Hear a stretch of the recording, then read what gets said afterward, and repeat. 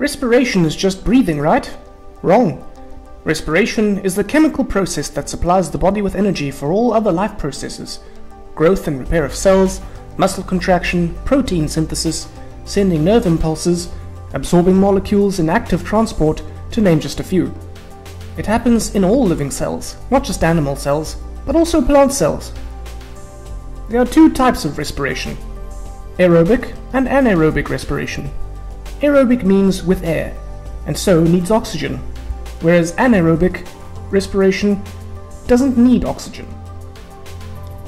Let's start by looking at aerobic respiration. Aerobic respiration releases energy in cells by breaking down food substances whilst in the presence of oxygen. It is represented by this simplified equation. But don't forget the energy which is released. Glucose is broken down by oxygen to release the byproducts of carbon dioxide and water. Energy is released, which is then used to make a special energy molecule called ATP.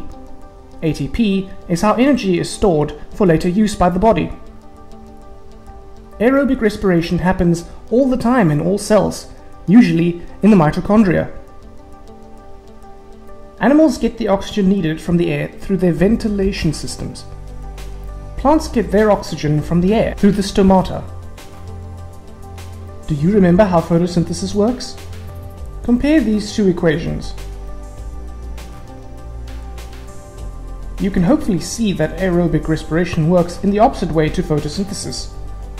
Plants produce their food by photosynthesis and then through respiration release energy from it. But don't be confused. Whilst plants do release oxygen as a byproduct of photosynthesis, they don't necessarily take in this oxygen for respiration.